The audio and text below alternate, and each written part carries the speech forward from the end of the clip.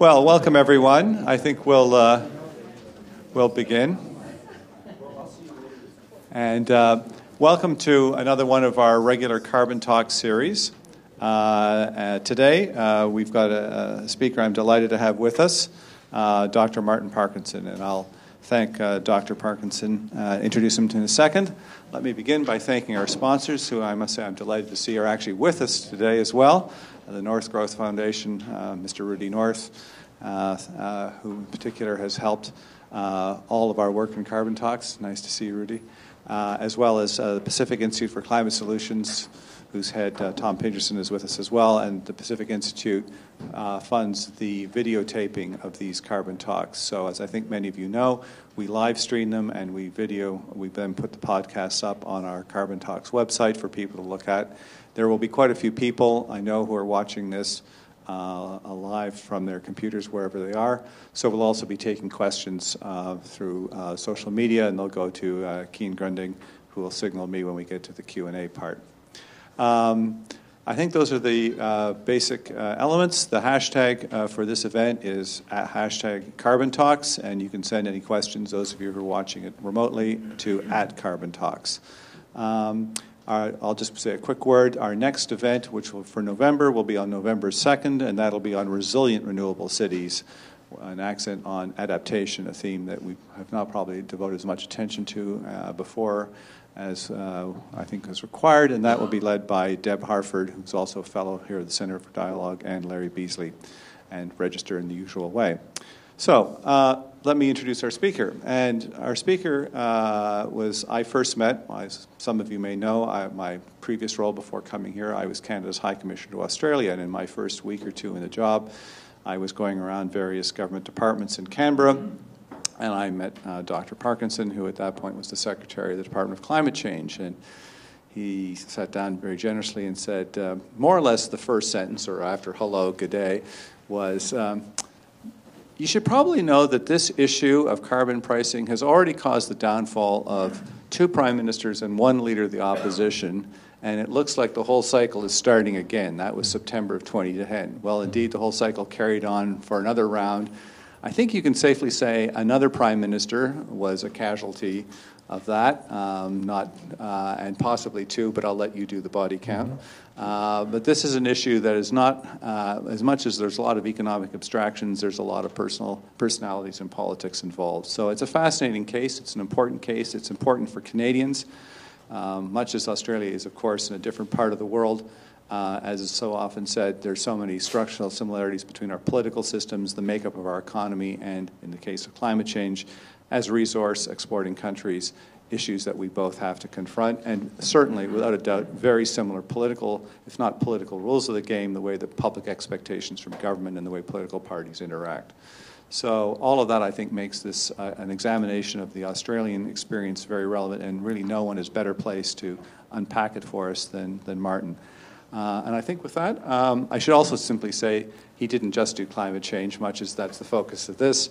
Martin was a career Treasury official with the Australian government for 34 years and rose to the very top of his profession after finishing as Secretary of Climate Change. He became the Secretary of Treasury, which would be the equivalent in Canada of being the Deputy Minister of Finance. So, and uh, finished that, that, job at the end of last year mm-hmm. and is now uh, lecturing in North America, Australia, and beyond. So, with no further ado, Martin, I'll let you give your talk. Thanks, thanks, Michael. Um, just bear with me while I put this up, so I can stand. I'm more comfortable doing that. Um, what I'm going to do, uh, th- there's an element of the sort of Shakespearean tragedy about um, this experience in Australia. So I'm going to put up um, a list of names because um, uh, I'll come back to uh, to these through the um, through the course of the presentation. So I'll just leave that up there for the moment. I'll take it down as I put up some other slides, but um, uh, I'll come back uh, as we go through. Uh, the second thing I just want to say is um, that uh, if there are any questions as we go through, um, points of clarification, I'm either um, quite happy to take them as we go or to wait till the end. It's really up to, uh, up to you. Now, um, while Australia's responsible for only 1.3% of the world's emissions, so slightly uh, less than Canada's 1.6, we are the world's highest per capita emitters.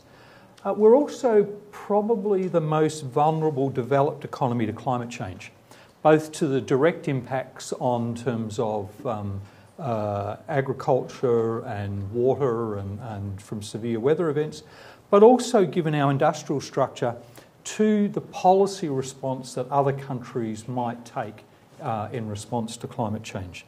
That is, um, we are very heavily fossil fuel dependent. Um, half of our uh, uh, um, sorry, 40% of our emissions uh, are actually related to our resource exports. Um, so uh, it's a very, very significant uh, threat to Australia's economic prosperity if other countries um, respond uh, through uh, particular types of policies. Now, estimates by the Garnaut Review, which was a, a, a sort of Australian equivalent of the Stern Review, suggests that the climate change risks the loss of half of all irrigated agriculture in our Murray Darling Basin, um, which is the nation's food bowl, by 2030, and the entire loss of um, irrigated agriculture by 2100. In the driest inhabited uh, continent on the planet, climate change also poses a threat to water supplies, while severe weather events and rising sea level threaten significant areas of habitation and large parts of our infrastructure. So you'd think that climate change would be front and centre as an issue that Australians really felt they had to get to grip, grips with. Yet, despite all of this, climate change has been a source of considerable angst in Australia, uh, indeed, um, dramatic controversy. Since 2007, it's played a major role in the demise of um, uh, Prime Ministers John Howard, uh, Kevin Rudd and Julia Gillard, and opposition leaders Brendan Nelson and uh, Malcolm Turnbull. Now, this controversy reflects both a passionate rejection of the science on the part of some and a concern about moving ahead of the rest of the world by others. It's also been fueled by the political manoeuvring of some of the proponents of action who really have engaged in rhetorical overreach and rejected approaches that would have garnered the support of the mainstream, approaches that would have cemented into um, the fabric of the Australian economy sustained and substantial emissions reductions. Fear of moving ahead of the rest of the world has a striking um, degree of currency in Australia. And that's despite the fact that even when we were in the world of introducing um, a carbon price, we were not actually at the front of the pack. For example, when China announced it would trial uh, emissions trading schemes, this suggest- the suggestion that this would actually happen was loudly rejected by many in the, um, in the commentary. When they actually started seven separate trials, they were dismissed as not real. When the price of those uh, trial sites varied between 20 and 40 yuan, so basically around four to eight dollars, not much different to Australia's price. The evidence was just ignored. And now that China's made a commitment to go to a national scheme uh, from 2017, we'll just have to wait and see what the uh, skeptics say about that. What I want to do today, though, is um, describe where Australia finds itself, then look back at the economics and politics of climate policy in Australia over the last 20 years in doing so, I'm going to focus on the stillborn emissions trading scheme, the so called carbon pollution reduction scheme, and then on its um, uh, successfully implemented but now abolished carbon pricing mechanism, which was essentially what was referred to as a carbon tax.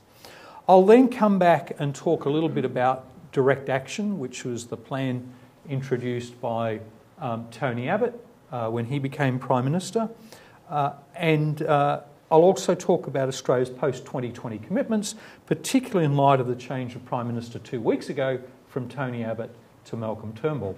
And if you notice that uh, Rudd to Gillard to Rudd uh, were all changes within the Labor Party, and Abbott to Turnbull is a change within the Liberal Party. So while the Prime Ministers have changed, the only time government has changed is actually in um, in 1996, uh, in 2007, and then again in 2013.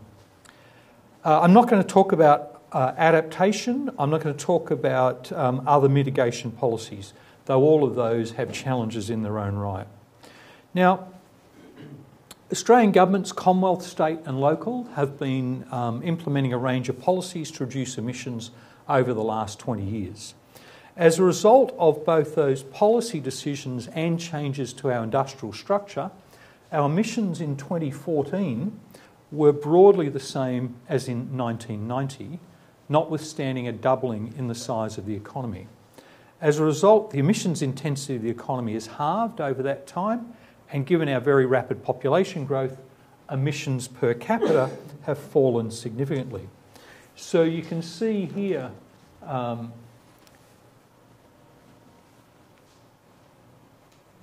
sorry. There we go. Uh, this was our um, QELRO, so our um, target in uh, the uh, first Kyoto period, uh, and this is the actuals. This is where we find ourselves now. Um, we're not much different from 1990, uh, and we're not much different from 2000, but we do still expect fairly significant increase in emissions out to 2020 and then continuing growth in emissions um, beyond there. Now, over the period to um, the, the first Kyoto period, the fact is we had a target of 108% of 1990 emissions, and we actually ended up uh, emitting about 104%. As a result of that, we've got a carryover into the second period of 120, 129 um, megatons. Now, in that period to 2020, uh, we've got bipartisan support for a commitment to reduce emissions by 5%. Now, uh, I mentioned that uh, in 2000 and um, 1990, there's really not much difference in the level of emissions. Uh, the main reason for that is because uh, we ended large scale land clearing uh, during the 1990s. So that explains that drop from 1990 and then um, the subsequent uh, upward trend which reasserted itself. But if you look out to um, 2020, even after the 129 million uh, tonne uh, carryover uh, over that, um, uh, that period from 2012 to 2020, we've still got to reduce emissions in 2020 by 126 million tonnes, or over this entire period by a cumulative 236 uh, million tonnes. Interestingly, the abatement task has become smaller over time. Now, this, um, this here is our uh, projections of um, emissions in 2008. Uh, this is um, 2012, 2013, and this is the current set of um, projections now. But look here too, it's not just that um, our forecasts have changed, our history's changed. So what's, what's going on? Um, so it's actually really interesting. This, the more accurate data we've got now on actual emissions reflects two things. First, in 2007, uh, the Howard government, um, with Malcolm Turnbull, uh, who's now the Prime Minister, who was then Environment Minister, introduced something called the National Greenhouse and Energy Reporting Scheme. Uh, and that required companies to measure their emissions and report them to government. So, first up, from about 2007 onwards, we started to get uh, accurate data rather than estimating. And then the second thing is when we were introducing the cap and trade emissions trading scheme, it, uh, the coal miners were faced with the choice of using accepted global default factors or going actually out and measuring their emissions. And they went out and measured their emissions, and lo and behold, found the fact that their emissions were, particularly the fugitive emissions, were a lot lower than anybody had actually been um, anticipating. The forecast emissions um, have slowed quite dramatically on the back of very large rises in electricity prices, which were due to higher network charges, so they were not related to the introduction of the emissions trading scheme, and industrial restructuring in the face of declining competitiveness because the terms of trade boom that Australia has been through forced up the Australian dollar dramatically. So, sorry, if we think about um, the cumulative reduction task uh, over the period um, out to 2020, you can see that it's uh, the time we uh, started to plan the introduction of the emissions trading scheme, we thought we had to reduce emissions by 1,335 um, uh, megatons, and now uh, with the carryover, we're down to having to reduce emissions by 236. Now, that's still a significant task, and um, achieving least cost abatement should be a priority. As I'll describe shortly, uh, the Rudd and Gillard government sought a carbon price with the intention of delivering emissions 5% below 2000 levels. Um, and as I said, 2000 or 1990 is essentially interchangeable in Australia. And a willingness to go for deeper cuts to 15 to 25% below 2000 levels if other countries made similar um, reduction efforts. Now, given Australia's strong population growth, these targets would have required very significant reductions in emissions per capita. And this, this is going to be the, this, what I'm going to show you now is actually going to highlight one of the big issues that we faced in Australia. So, and that, that was that people did not understand what business as usual looked like. So, if we go back here, when we're designing the emissions trading scheme first up, this is, this is the reality we're looking at. And we're thinking we need really big instruments that are going to make big change. But 5% below 2000 levels sounded like really small change. In actual fact, if these are emissions per capita, 5% below 2000 required you to reduce emissions to 66% of what they'd been in 1990 on a per capita basis. If you went for 25%, you, by 2020, you had to halve emissions per capita uh, over that period. Now, on the basis of the modelling that we did for the introduction of the carbon price, uh, it wouldn't have actually cost very much in terms of foregone national income per capita. Indeed, going from 5 to 15% would have cost less than two one hundredths of 1% in per capita income growth by the time you get to 2020. Now, as it turned out though, um, I want you to sort of keep in mind what this business as usual, um, sorry, what the 5% below 2000 means in terms of per capita emissions because people did not understand what business as usual meant in Australia and in the Australian context. And I, as I go through this, you'll see why this is important. Now, with the election of the Abbott government, um, I'll, I'll, just leave that there. The election of the Abbott government, um, it abolished uh, the carbon price um, in favour of uh, what it called its direct action plan. Now, we've made a post 2020 commitment like other countries, uh, and Prime Minister Abbott uh, announced this just recently that Australia would aim to reduce emissions by between 26 and 28 percent below 2005 levels by 2030. Now, compare this to what the government's own advisory board, the Climate Change uh, Authority, recommended, which was that if we were serious about the two degree target, then Australia's fair contribution was 40 to 60% by 2030. Now, a number of observations can be made about the commitment that the Abbott government has made. First, while I'm now out of government, this target seems to me to, be, be, to have been carefully chosen to show that we were taking some action, but not too much. It's more than what Japan and Korea have committed to, and in terms of um, emissions intensity, it's a reduction on par with that of China. As such, it'd see emissions per unit of GDP fall by 64% and emissions per person halve between 2005 and 2030. Second, by moving the base to 2005, the quantum of the reduction seems larger than if the base had remained at 1990 or 2000 levels. Um, we're not alone uh, at doing this, um, but the, it does mean that 26 to 28% below 2005 levels is akin to something like 20% below 2000.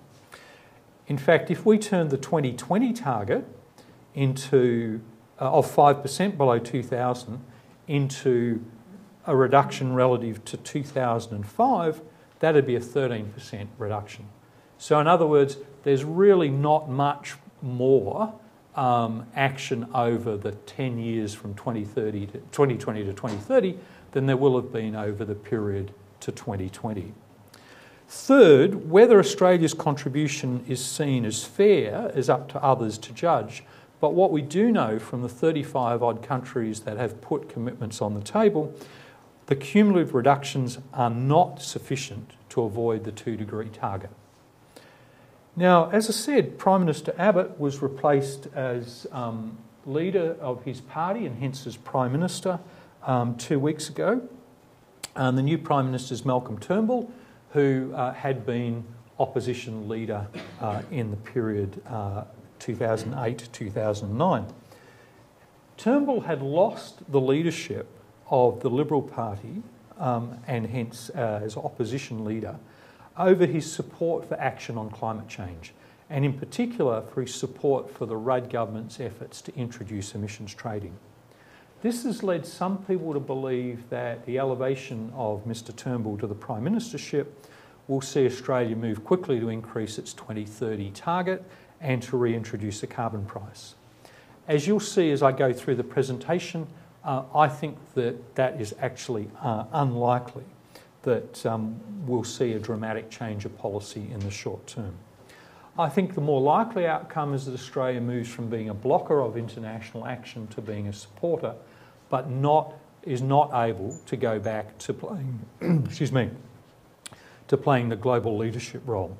Indeed, the new Prime Minister's early comments have reaffirmed direct action as central to his government's policy, noting that there's a commitment to review direct action in the light of experience in 2017 18, um, with a view to seeing whether that will be sufficient to deliver the 2030 target. As you'll see as we go through the rest of the discussion, climate change policy in Australia is an area where there's a gap between the means and the ends. And that doesn't make any strategic sense if you're actually focused on your national interest. As such, I think it's inevitable that we will return to the question of how, uh, or sorry, of how much um, to reduce and how to reduce emissions. Um, but I can't give you any confidence about over what time frame. I, my personal um, sus- uh, suspicion is that it'll be that 2017 um, review of direct action that gives us the, the option. So, how did we get here? The history of policy making in Australia has really been one of governments progressively removing themselves from allocative decision making in favour of letting market based responses um, play out. And the move to pricing greenhouse gas emissions through an emissions trading scheme or through a carbon price was been, has been seen by many as the next logical progression for that uh, policy approach in Australia. However, before the Gillard government's attempt to, uh, or sorry, actual introduction of the carbon pricing mechanism, we'd never ever managed to, uh, to implement a nationwide market based reform that managed a global externality. So it's that that's an important distinction, right? What, so the debate over using an economic instrument has been around for about 20 years. Uh, Senator John Faulkner, who was the Environment Minister in Paul Keating's Labor government in 1995, proposed uh, a carbon levy set at $1.25 a tonne. That faced strong opposition and was put aside. In 1999, under the Howard um, coalition government, Liberal National Party coalition, uh, and for those of you who don't know Australian politics, Liberal means conservative. Um, uh, in 1999, at the instigation of Senator Robert Hill, who was then the Environment Minister um, in the Howard Coalition government, the Greenhouse Office released a series of four discussion papers over design of a possible emissions trading scheme. This was the first detailed exposition of what a carbon pricing mechanism might entail, and there was an expectation that this would be followed up by further work as we move towards the implementation of that. But in 2000, the government decided not to proceed with, uh, that, with that work. In 2002, the Council of Australian Governments, so it's the collection of the Commonwealth and the uh, state um, governments, uh, had a uh, energy market review which was chaired by um, Warwick Parer, and he'd been the Minister for Energy and Resources in the Howard government and recently stepped down. And much to everybody's surprise, his review recommended the introduction of a national emissions trading scheme. In 2003, an emissions trading scheme proposal was taken to the Howard Cabinet again uh, with the support of four ministers and in particular um, sponsored by the Treasurer, so the Finance Minister, Peter Costello, and again the decision was taken not to proceed. Partly as a result of that decision, the eight state and territory governments jointly established a national emissions trading task force which um, was asked to design uh, a, an emissions trading scheme that the states could collectively um, introduce. It produced a number of papers, held a wide ranging dialogue with stakeholders between 2005 to 2007, and provided really important input into the Garnaut Review. Where things changed, though, is in 2006, where the Howard government establishes a task group on emissions trading chaired by the head of the Prime Minister's Department, so the, um, the clerk of the Privy Council, Peter Shergold. And the idea there was to reconsider the possibility of an emissions trading scheme, and I was asked to head up the secretariat of that group. Now, the initial reaction of the media and the environment groups was that this was a complete smokescreen. This was just a group of people who were being brought together um, and they produce a report that would say, yes, we should do this at some point in the future, but don't do it now. What they didn't know, and they were particularly um, convinced of this because there were 12 people on the review, five of whom were secretaries or deputy ministers in Canadian parlance, and seven of whom were business people. And so they were convinced that this was um, already cooked up. What they didn't know was actually that at the very first meeting of this task group, we went around the table and every single member indicated a very strong presumption in favour of acting on climate change and acting now, and a very strong desire to ignore the restraints imposed on us by the terms of reference the government had given the group. So it is one of those examples that if you are going to set up a review, you better have an idea um, of what the position the reviewers might take. So the Shergold Review was released in um, May 2007 and to the surprise of many concluded Australia should act on climate change. It should start acting unilaterally. It should have an emissions trading um, scheme. Oh, and by the way, look at all these appendices to the report. We've actually spent quite a lot of time beginning to design some of the key features because we needed to convince ourselves that we could make it work. Again, to the surprise of many, on 3 June 2007, Prime Minister Howard actually said the government's going to adopt the report and is going to have an emissions trading scheme in place by 2012. That meant that when we went to the 2007 election, we had both major parties, the Australian Labor Party and the Liberal National Party coalition, um, arguing in favour of emissions trading.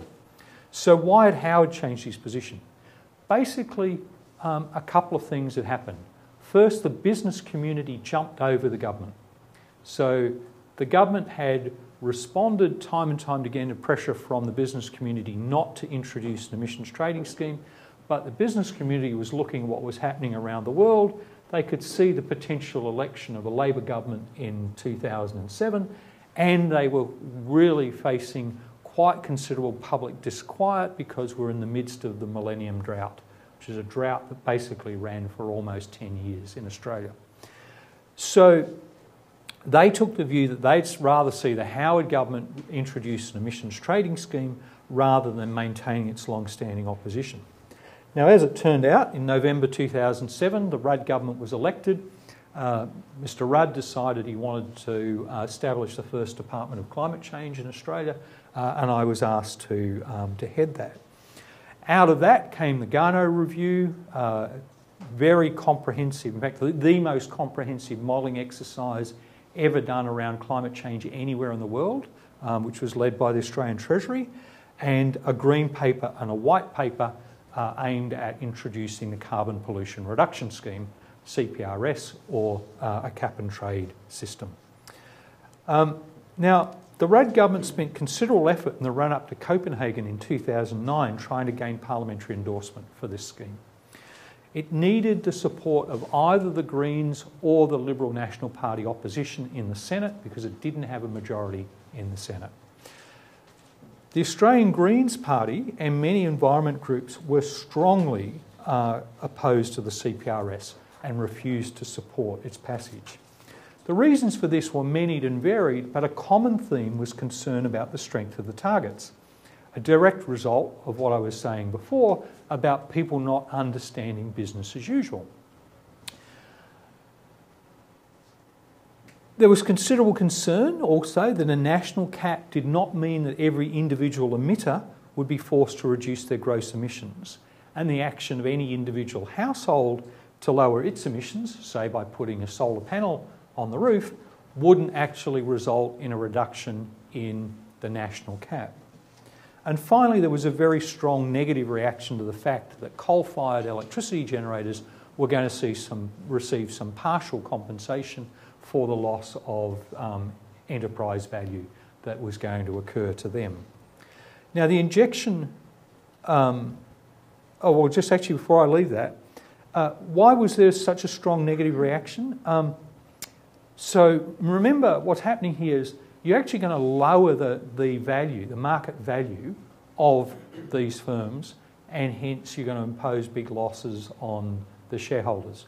So you could have gone out for contracts to close, sort of allowed an auction to, um, to run uh, and get the, the entities to close that way, or you could do it through partial compensation uh, and let them close uh, as they chose in actual fact, why the Green groups were so opposed is that it was a very, very strong argument mounted by them that the coal industry had to be penalised because the coal industry had done so much damage. So it was really a moral argument, and this injection of a moral argument into the design of an economically efficient instrument, uh, which was intended to reduce emissions by a minimum of 1,335 megatons, um, caused great angst. Now, Malcolm Turnbull provided in principle support for the emissions trading scheme, but his Liberal Party, i.e., his, his Conservative Party, was split in the issue, notwithstanding that the bulk of the CPRS was in fact what John Howard had committed to and taken them into the 2007 election. Their coalition partner, the smaller National Party, was vehemently opposed uh, and um, uh, threatened to actually leave the coalition uh, if, uh, if uh, support for emissions trading was carried through. In an attempt to find a compromise, the government and the opposition negotiated a series of modifications, principally around the extent of assistance to industries, which just entrenched the opposition from um, the Green groups.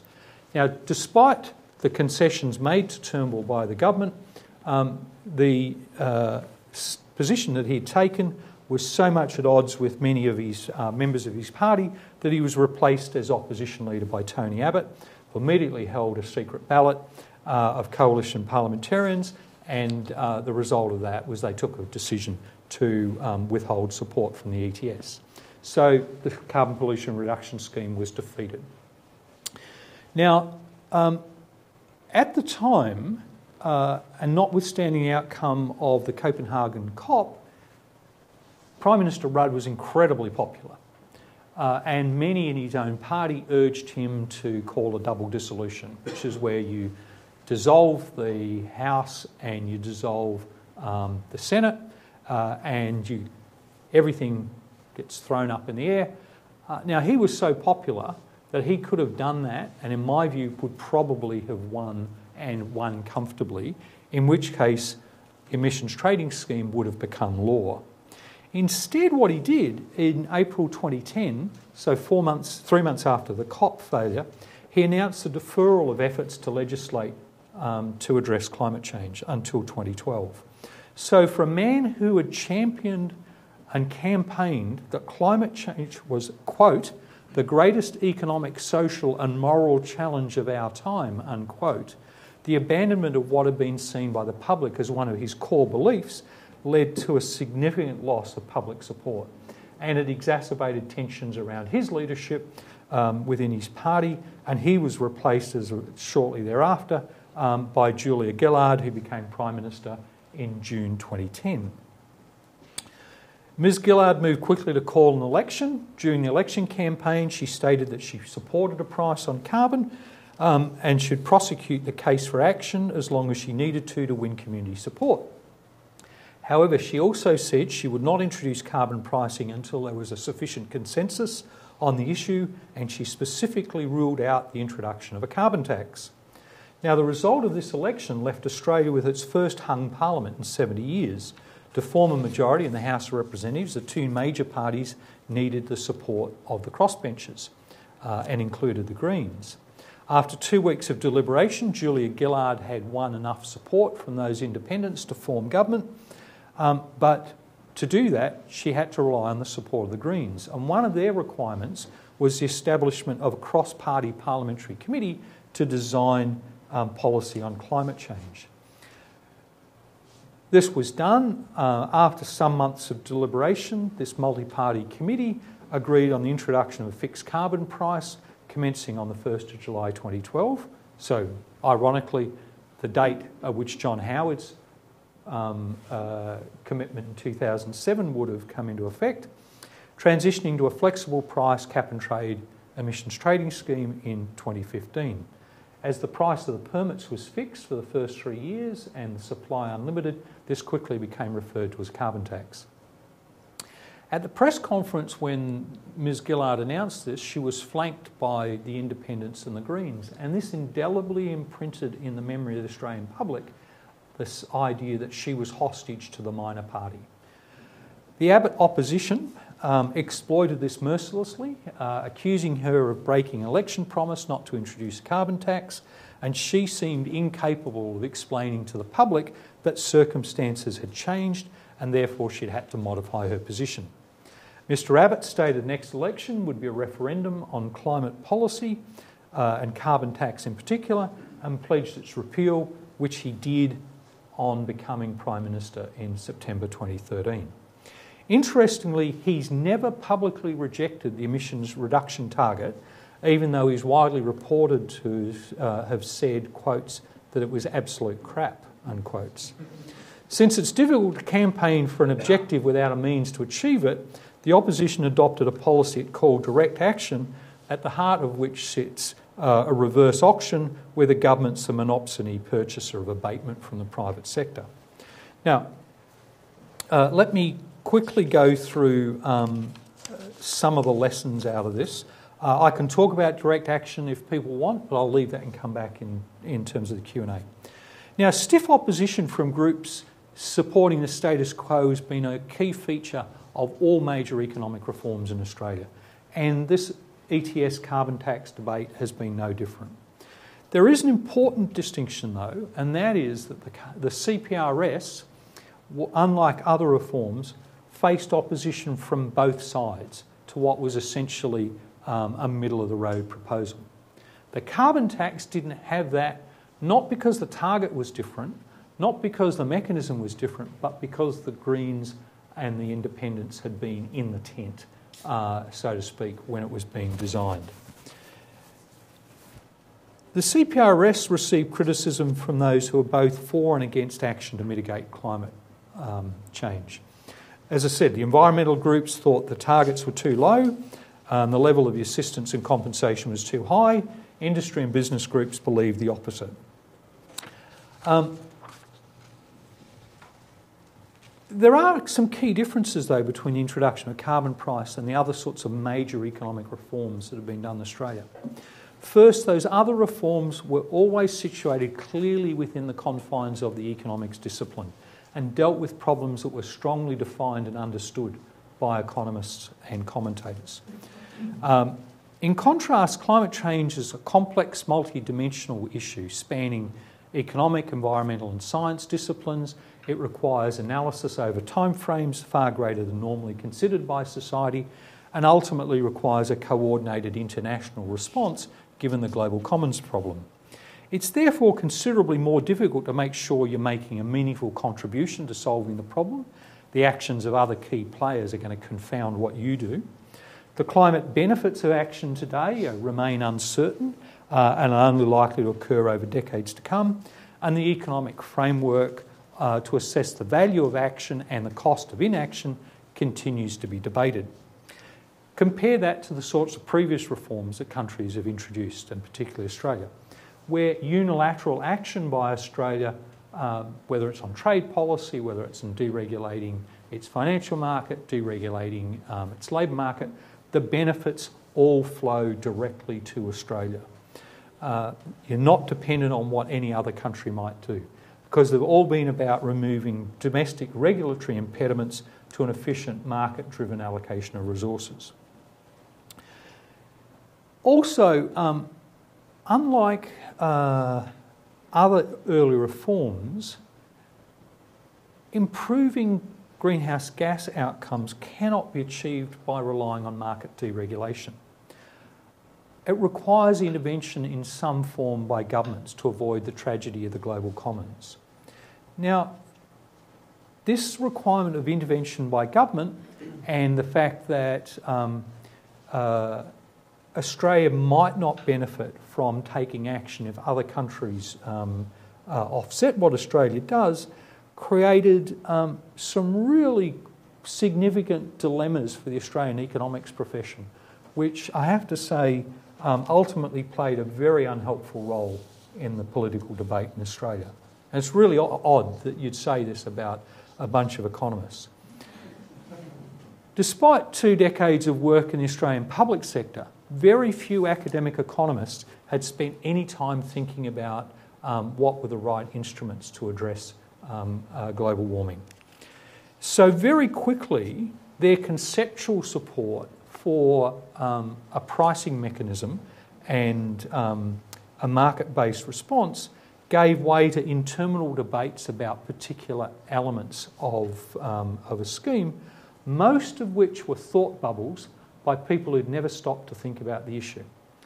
They were impractical, they were impossible to implement, in, effect, or they paid absolutely no attention to the international agreements which were already in place.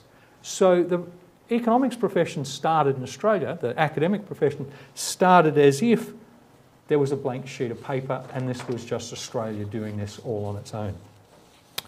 Moreover, while economists have um, significant experience dealing with marginal issues, that is, issues where changes at the margin are the important thing, they have relatively little experience with issues that involve potentially catastrophic outcomes. So the work of people like Krugman, Paul Krugman and Marty Weitzman um, and uh, that emphasis on low probability but catastrophic events seem to be little recognised in the Australian um, profession. Uh, nor uh, were the academic economists convinced that uncertainty around such events strengthens the case for action rather than strengthening the case for inaction. It's because of, because of the catastrophic nature of the events, it actually changes the option value in ways that are not um, necessarily intuitive even to economists. The best thing, though, was that some economists took it on themselves to begin to dispute the underlying science of climate change, which I have to say was um, an interesting phenomenon to watch. Now, while the academic economic profession was unhelpful in the public debate, the fact that public sector economists, and particular economists from the Treasury, were designing the emissions trading scheme, uh, and that climate change was being seen as requiring an economic response, led to considerable resentment amongst those people who you might think of as um, having a vocation, vocational calling around the environment. Um, give you an example. Um, there was a lot of confusion about what people were talking about. Most environmental groups would sit in um, meetings with me and say, absolutely, we have to have an economy wide approach that is least cost. Yep, absolutely agreed. Yep. Um, and then they'd say, but everybody has to share in the reductions. And you'd say, but that's not what an emissions trading scheme will do.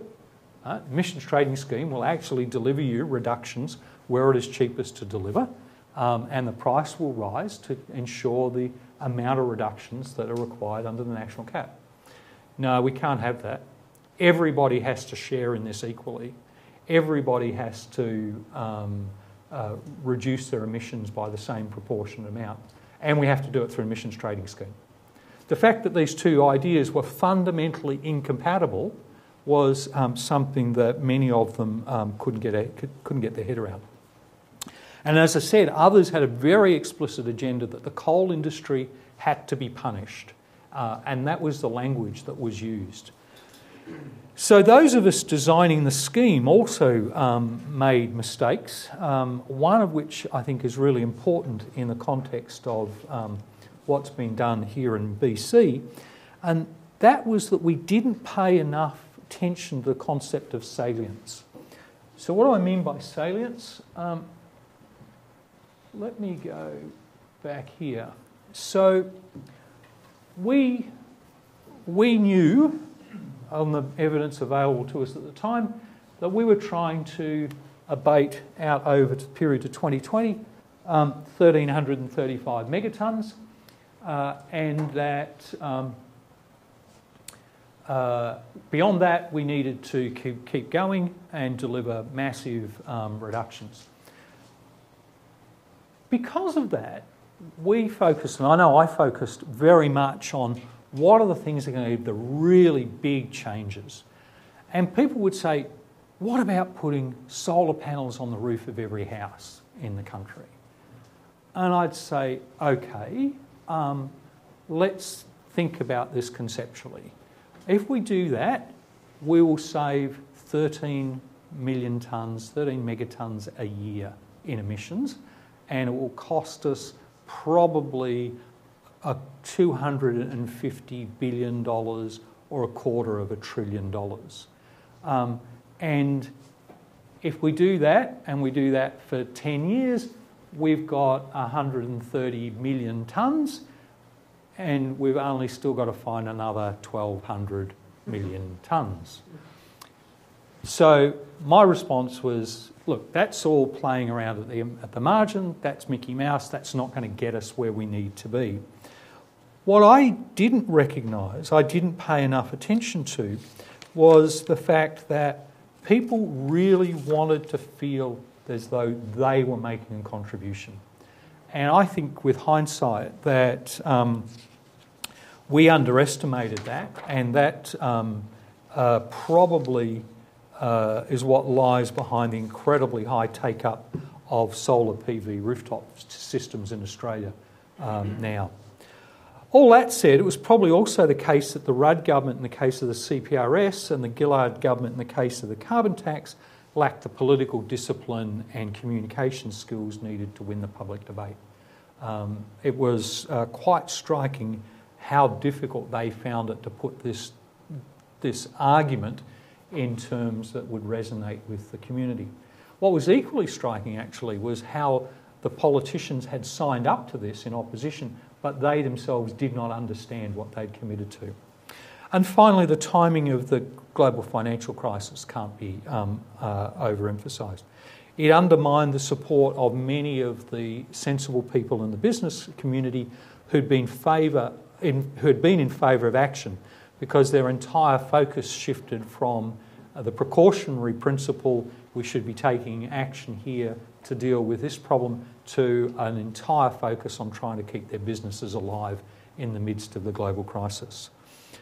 Uh, Michael, that's a, qu- a, quick run through the politics and economics. Um, I can talk about direct action, I can talk about um, uh, any of the elements of the individual schemes if people uh, are interested. but I think the best thing is for me to be in your hands and take questions.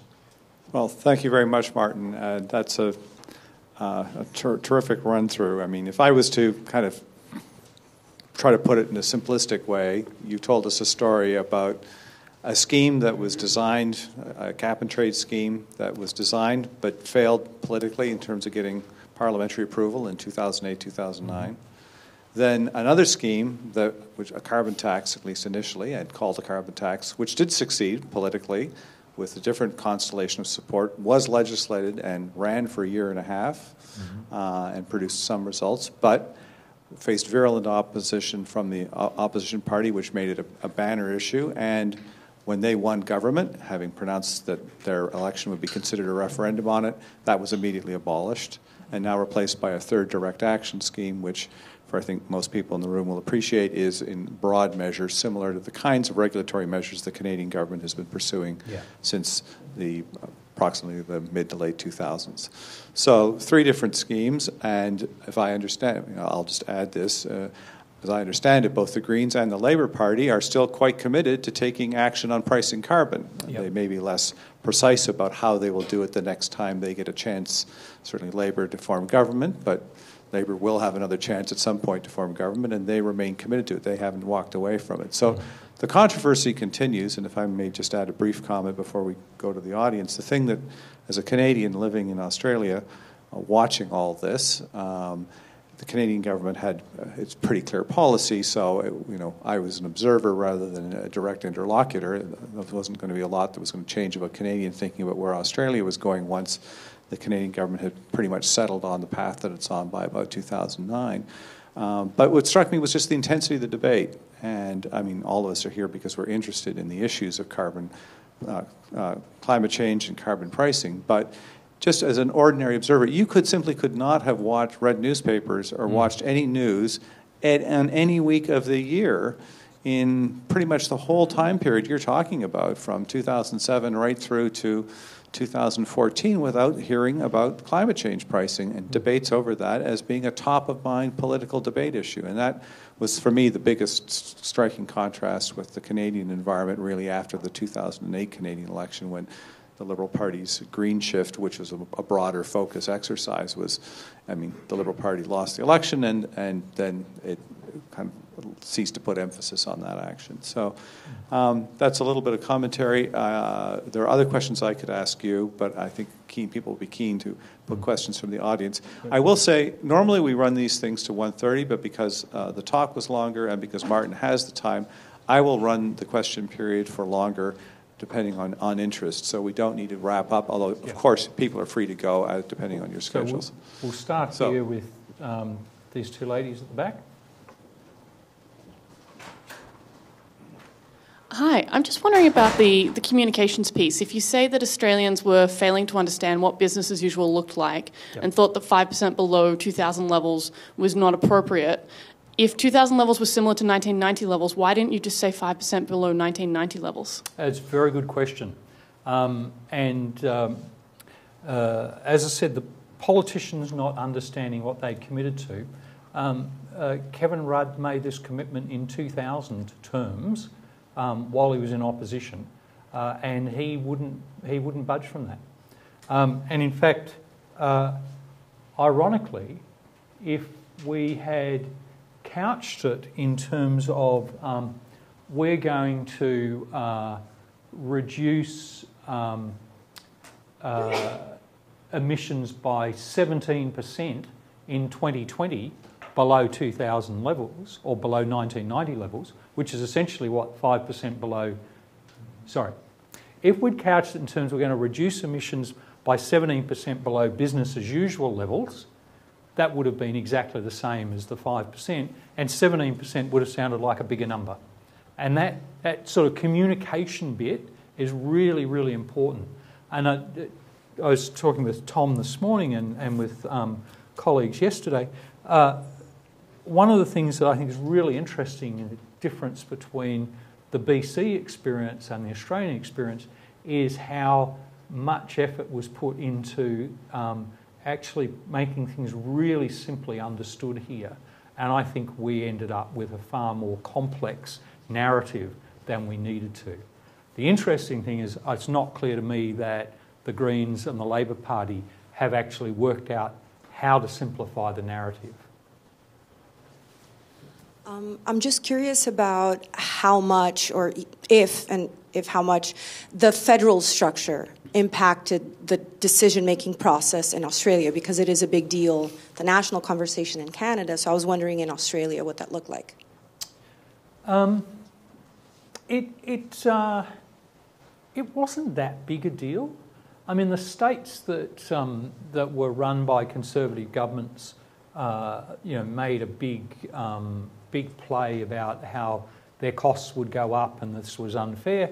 But basically, that didn't really impact on the decision making process, um, uh, either under the, um, the CPRS or under the, um, the carbon tax.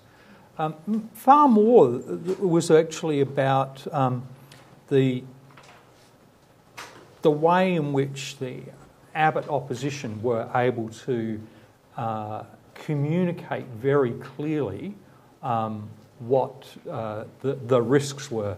Uh, now, you know, these were completely, um, how do I say this diplomatically, uh, slightly exaggerated. Uh, you know, um, so Whyalla, uh, which is a town of 30,000 people, um, which has um, predominantly uh, built around a steelworks, uh, was referred to as going to be wiped off the map. So it brought back, you know, sort of thoughts of Dresden bombing campaigns in World War II. There'd be nothing there. Um, a leg of lamb was going to cost 100 Australian dollars. Um, uh, and um, you know, this was just a tax on electricity. This was, you know, and basically it's, it was very heavily influenced by the rhetoric of the extreme right skeptics in the United States. Um, yeah. Hi, I have a yep. quick question. What's the sectoral breakdown of emissions in Australia? You mentioned that there's a lot of coal fired electricity. Yeah. Is it primarily in the electricity sector? And what kind of direct actions are being taken by the Australian Commonwealth Government? Is there a, I believe there was some sort of national renewable energy target? Yeah, there is. Um, so let, let, me, um, let me start off the first part of your question. Uh, the bulk of our um, emissions uh, are related to um, electricity. We have virtually no um, hydro. We, we, have a little bit, but not very significant. Uh, we have um, uh, no nuclear.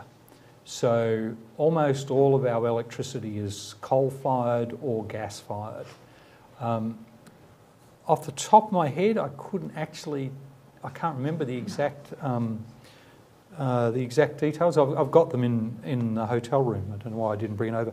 Um, but uh, uh the bulk of it is um, electricity generation, um, transport fuels, and um, then uh, it's fugitive emissions uh, and agriculture.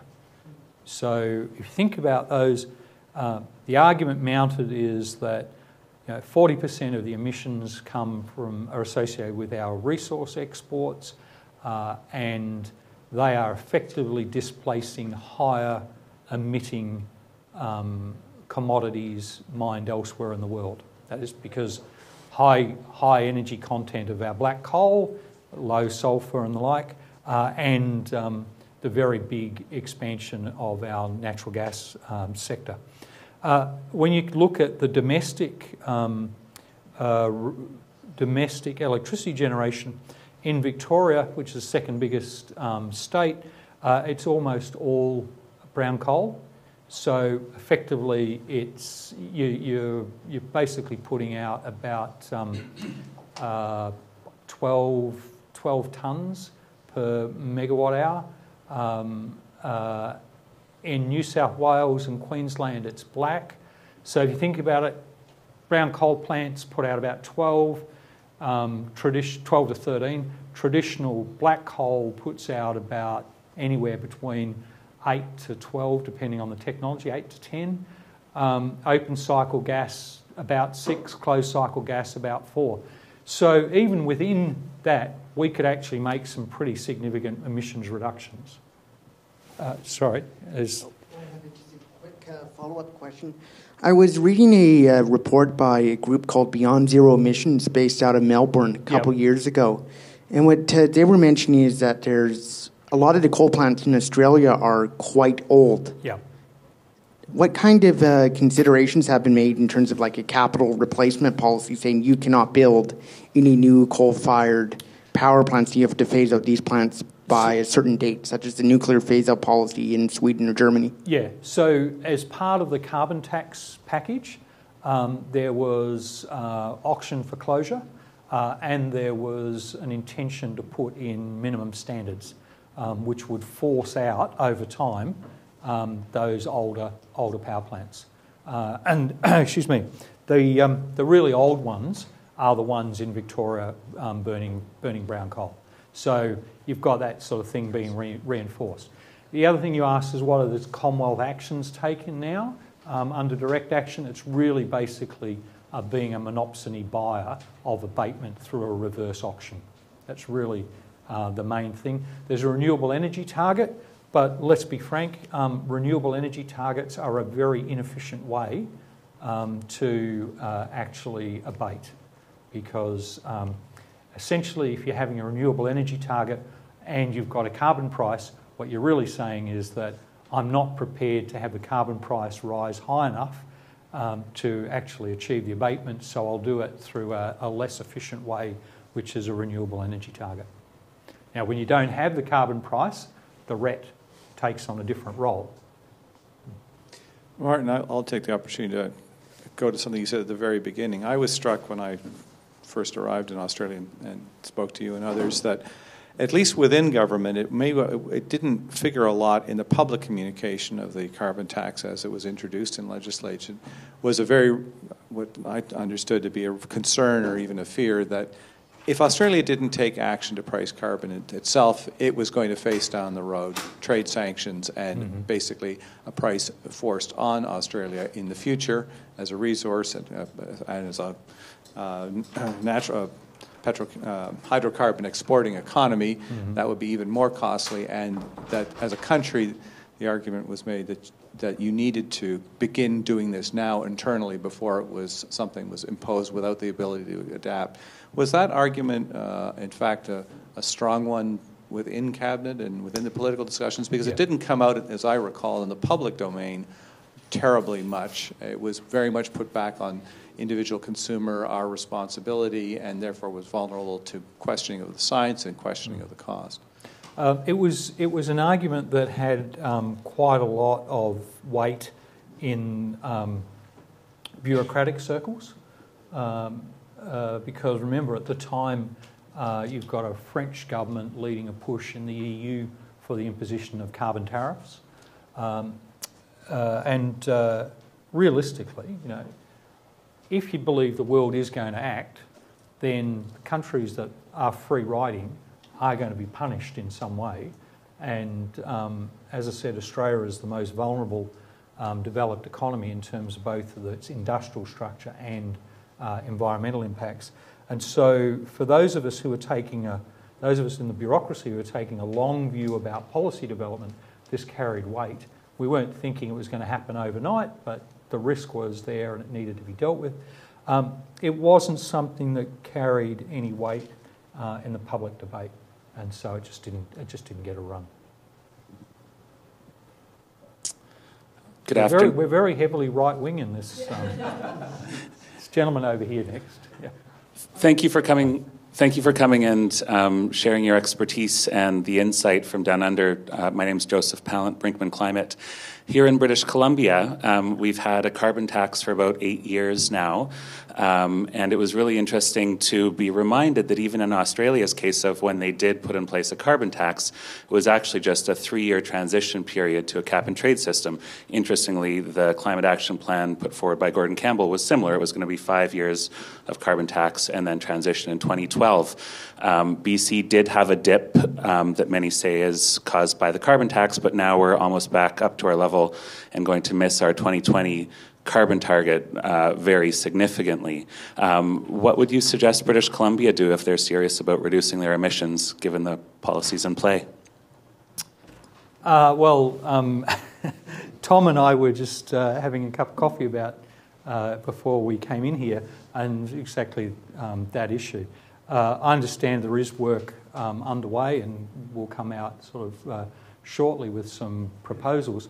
But um, what I was saying to Tom was that uh, what struck me about what you've done here is that you deserve a really big pat on the back for having started the process. And the question is now, what are you going to do?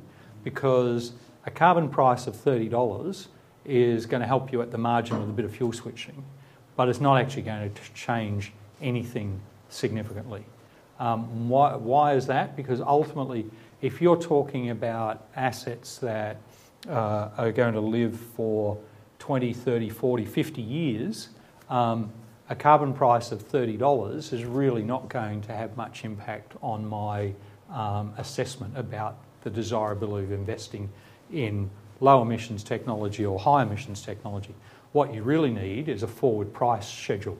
Now, either because you've adopted a tax with clear escalators, and they don't have to be point estimates, they can be ranges, or whether you've adopted emissions trading scheme with a clear set of reductions in, um, in the cap, and you've got a forward price that people can look at and say, okay, over the life of the asset, the price isn't going to be $30, it's going to be $150. Uh, that, it's that thing that's really important in you terms of. the efficiency of cap and trade previously. Yeah. Um, we have a lot of work to do.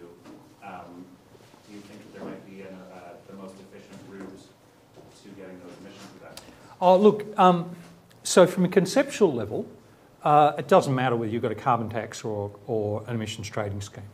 From a practical level, I think it does, but um, not to the point where I'd die in a ditch uh, to stop somebody having a, ca- a, a, carbon price via a tax rather than emissions trading scheme. But ultimately, what we're dealing with is a stock problem. So it's the stock of emissions in the atmosphere. So that's what you've got to control.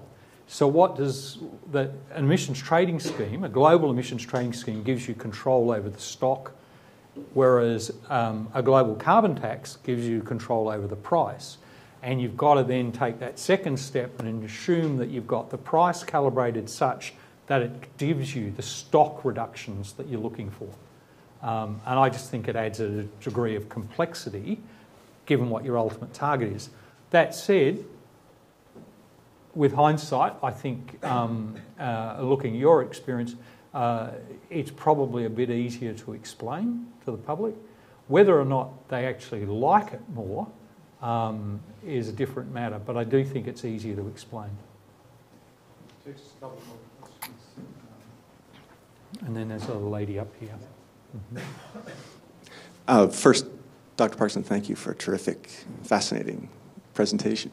Um, I would like you to, if you would, to go back to your salience concept and um, and I know you can't, you don't have a crystal ball, but my sense is that as we watch what's happening in Canada, that that Canadians are becoming increasingly literate um, and will want more than than some of the feel good opportunities, like you know, I, solar panels, for example. But I think Canadians are starting to see, we're starting to see that Canadians want um, something that really is a meaningful contribution to solving a, a, global problem. They're getting it more viscerally than before, I, mm. I, I, think. And I'm just wondering what your sense is about the salience of, of the, the meaningful, so uh, the meaning of the Paris Conference, for example, and the significance of the UN Sustainable Development Goals for Australians.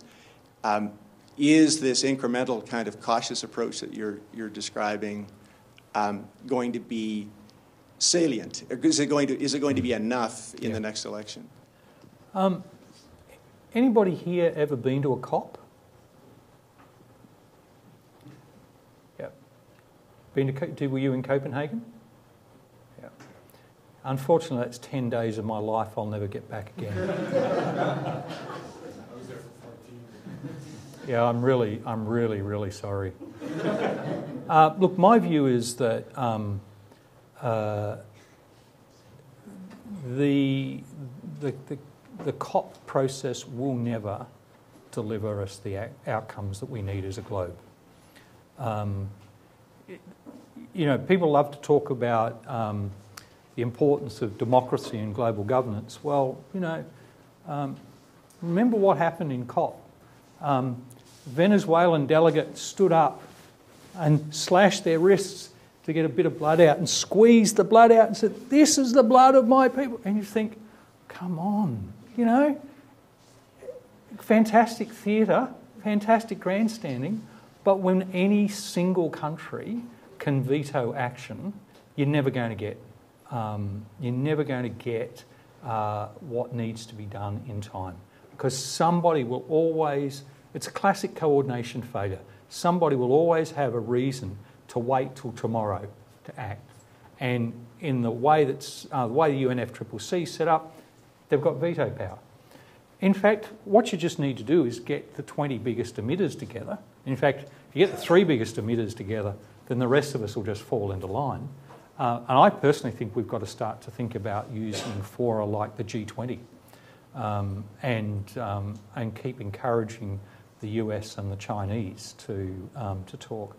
Uh, I don't think um, after the Copenhagen experience, where in Australia it really was built up that we were going to Copenhagen, we were going to come back with a global deal, and then you know everything was going to be um, going to be okay. I suspect the Australian public will be very, very sceptical of anything that involves a UN-led um, uh, response. Um, I think the, the on the other hand, um, I think disquiet about um, climate change is on the rise again. Uh, and as I said before, it really peaked in the 2000s because of the millennial drought, even though the drought can't necessarily be um, directly linked to it.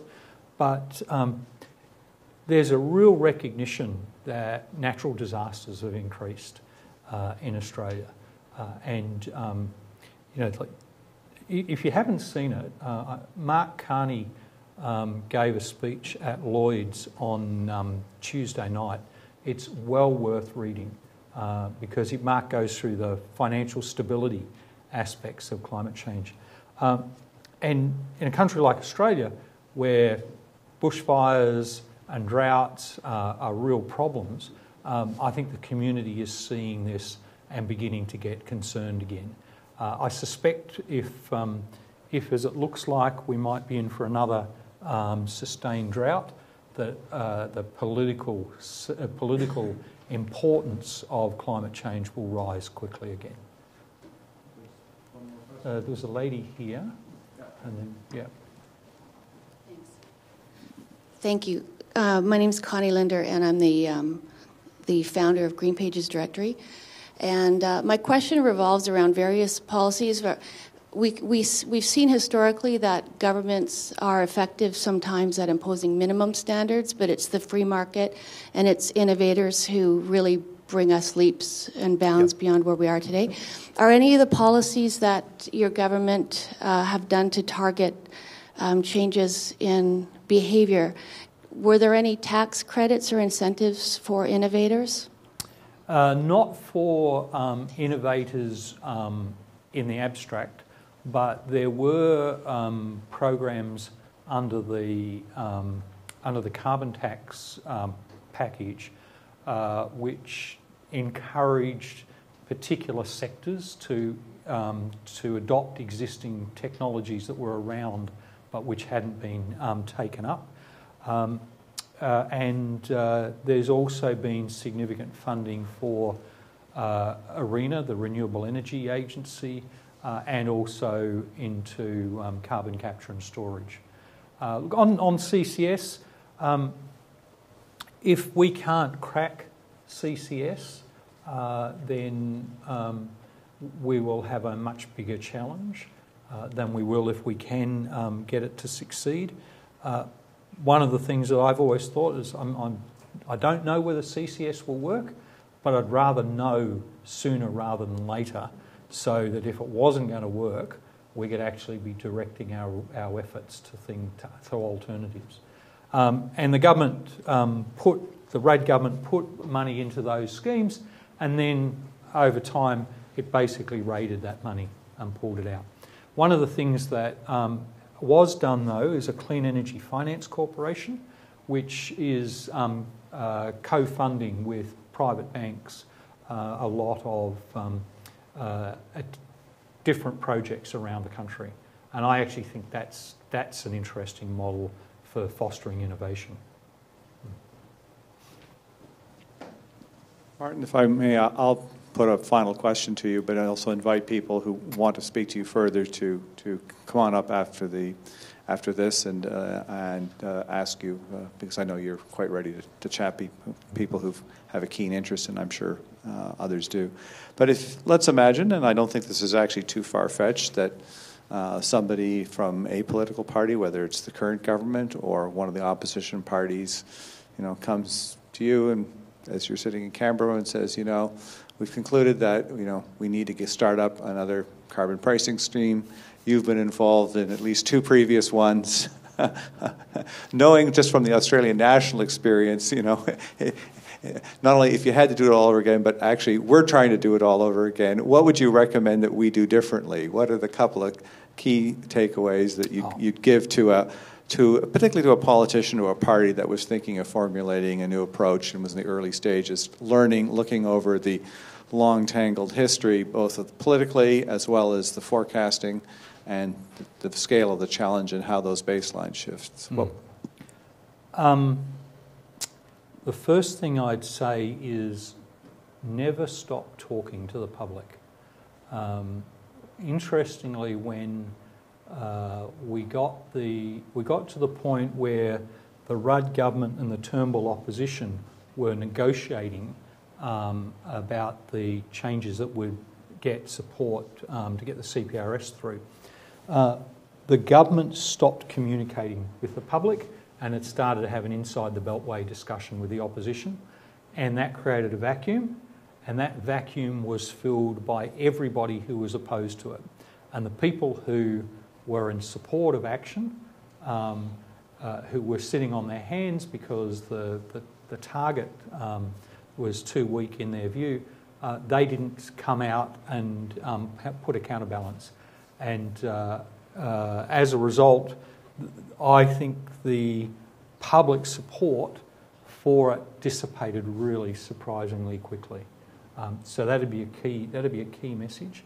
Uh, a second message would be to separate the how much from the how, and say um, we want to get the mechanism right, and we want to do that quite separately to what targets we adopt in the future. Um, now, that will not be acceptable to the green groups. Um, they will want to see the things done together. But I look across the Tasman um, at uh, the New Zealand experience. So when John Key, who's also a Conservative Prime Minister, when John Key became um, Prime Minister, uh, they had um, a, a, legislated um, carbon price mechanism in place um, just about to, uh, to begin to bite. Uh, and Key set the price at zero and kept all the existing architecture in place. Um, and if you think about this, seems odd, but why did he do this? His right wing wanted the thing abolished, and he knew that having put in place the mechanism, it was a valuable national asset. And at some point, circumstances would change, and he or some subsequent leader would need to dial up action. And having the scheme in place, having people to report against it, having the infrastructure there, um, was something that, therefore, when he needed to start it, all he had to do is flick the switch. And I actually think that that was really, really clever. Um, and I, uh, uh, there were some people in, in Australia who hoped that Mr Abbott might do that, um, but uh, uh, I think the difference was that um, nobody has ever accused John Key of believing climate change is crap. So Key believes um, it's real and you need to act, and the question's really just about getting the politics of acting right. So don't throw away the instruments. Thank you very much. We could just uh, have a round of applause. Thank you.